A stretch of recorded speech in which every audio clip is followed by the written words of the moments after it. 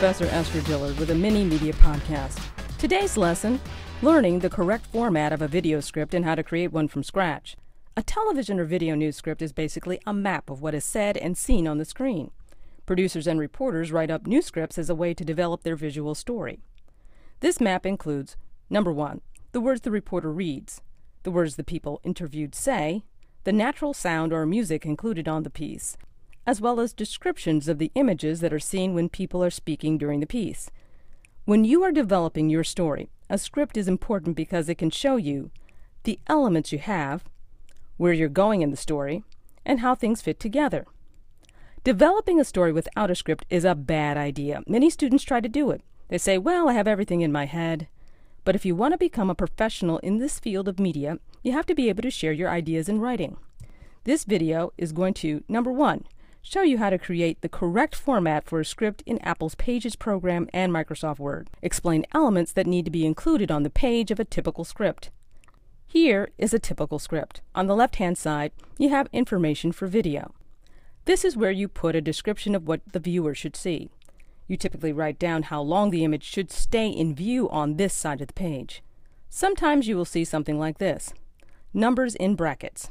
This is timecode. You will find timecode on video clips in your editing software like Final Cut Pro 10, and you can often see it in your viewfinder on your camera. Here you can see the timecode in Final Cut Pro 10. This shows you where in time on this particular video clip the shot exists. This helps the editor, usually you, to find the shot you want during editing so that you can complete your story. When you're putting together a story on deadline, timecode is golden.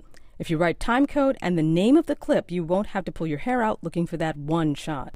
One term you should know that often is seen on scripts is CG. This stands for character generator. It's an old term for a machine that was used in television production in the 1980s and 90s. These days, character generators aren't generally used, but the term still sticks. CG and the colon are used before the name of a person that you want to identify on the screen. A slash is usually used after the name, and then the person's title. This is the information that goes on the second line under the person's name as you see here. Now to the right-hand side of the script. This area is for the audio information. What the audience hears should be written in this column. This can include what the reporter reads, what an interview subject says, natural sound like birds chirping, a horn honking, or music heard during the piece. All sound elements heard during your piece should be written out verbatim. That means every word written out. Another important element that you'll see on this side of the page in parentheses is the letters in with a colon and then numbers. This is what is referred to as the in cue. And the letters out with a colon is referred to as the out cue. The in cue shows the time code for when the person says the next words you read in quotations. The out cue shows where the sound ends in quotations. You use this in your video script so you can find your interviews quickly in your video clips and put them into your final piece. Often before you see out cue or in cue, you'll see the name of the clip where the sound is found. Now I will show you how to set up the format for a short script from scratch in Pages and Microsoft Word on your laptop. This is different than on an iPad.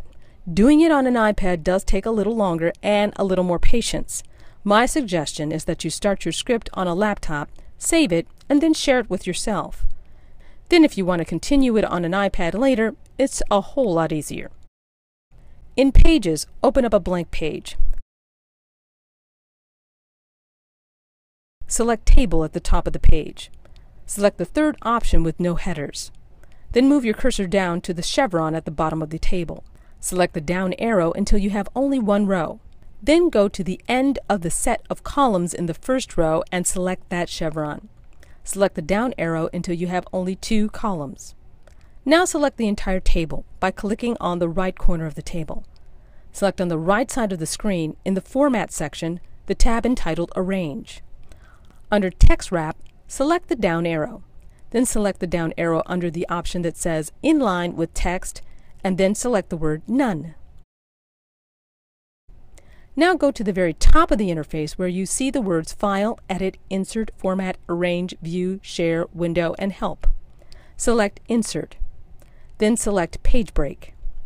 Select Page Break for as many pages as you think that you will need. I say make at least six page breaks to be safe. You can always delete the pages later. Then go back to the top of the page. Select the table you created, copy it, go to the top of each page and paste it. Now you have a table to make a split page script for each page. So the way this works is when you finish writing at the bottom of the page, you have to stop and go to the new page with a new table to continue your script. In Microsoft Word, create a new blank document. Select the Tables tab. On the top left, click on the icon showing a square that has nine blocks. Left click to highlight two squares to create a one row, two column table. You can begin typing on the left or right column for as long as you like and the two column format will continue from page to page. When you get to a new page, it just creates a new table automatically and lets you continue typing.